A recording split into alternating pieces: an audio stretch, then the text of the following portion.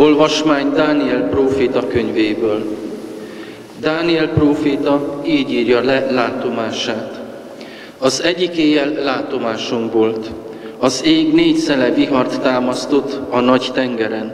A vízből négy egymástól különböző hatalmas vadállat jött elő.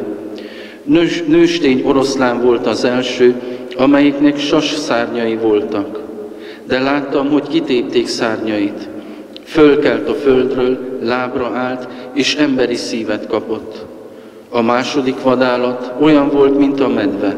Félig fölegyenesedett, és a szájában három borda volt. Azt mondták neki, kelj föl hamar, igen sok húst tegyél. A harmadik vadállat párducnak tűnt nekem, de rajta négy madárszárny és négy fej volt, és hatalom adatott neki. Az éjszakai látomásom negyedik vadállata rettenetes, csodálatos, igen erős volt. Vasfogakkal falt és rágott, a lábával széttaposta, amit meghagyott. Ez minden előző vadállattól különbözött. Tíz szarva volt. Jól megfigyeltem a szarvakat. És mi történt? Még egy kis szarv nőtt a többi tíz között. Három szarv a régiekből a földre hult, hogy helyet adjon neki. Majd ezen a kicsi szarvon emberszemek nyíltak ki, és egy száj, amely kevélyen, fenhéjázóan beszélt. Míg ezt figyeltem, trónusokat emeltek, és az ősöreg leült. Ruházata fehér volt, mint a hó, és a fején a haj, mint a tiszta gyapjú. Trónja lobogó lángból volt, kerekei meg izzó parázsból. Ezernyi ezren szolgáltak neki, és tízezerszer százezren hódoltak neki. A bíróság leült, és felnyitották a könyveket. Figyeltem és láttam, hogy az Isten káromló szavak miatt, amelyeket az a kis szarv beszélt, a nagy vadállatot megölték, teste elpusztult, tűzbe dobták, hogy elégjen. A hatalmat elvették a többi vadállattól is, és megszabták, hogy meddig élhet az egyik is, meg a másik is. Akkor hirtelen azt láttam az éjjeli látomásban, hogy íme az ég felhőin valaki közeledik. Olyan volt, mint az emberfia, amikor az ősörekhez ért színe elé vezették, és az hatalmat, méltóságot és királyságot adott neki. Minden népnek, nemzetnek és nyelvnek őt kell szolgálnia. Hatalma örök hatalom, amely nem enyészik el, és királysága nem szűnik meg soha. Ez az Isten igéje. Dicsérjétek és magasztaljátok mindörökké.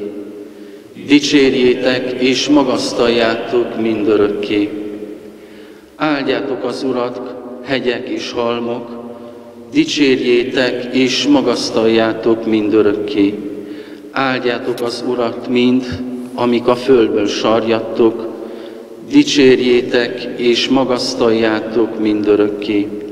Áldjátok az Urat, ti források, dicsérjétek és magasztaljátok mindörökké.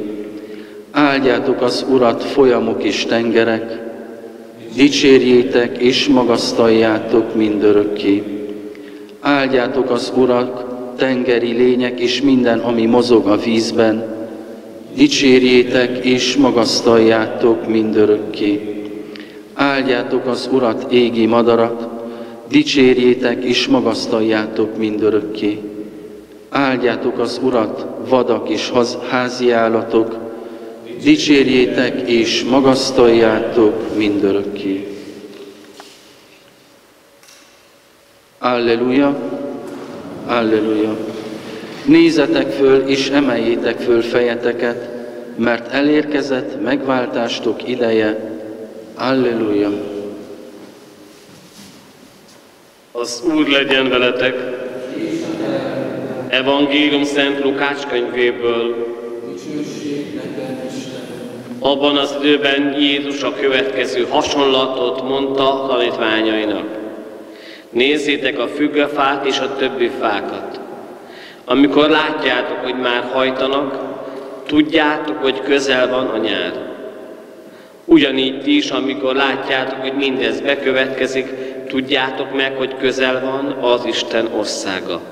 Bizony mondom nektek, nem múlik el ez a nemzedék, amíg mindez meg nem történik. Ég és föld elmúlnak, de az én igéim el nem múlnak. Ezek az evangélium igéi. Amen.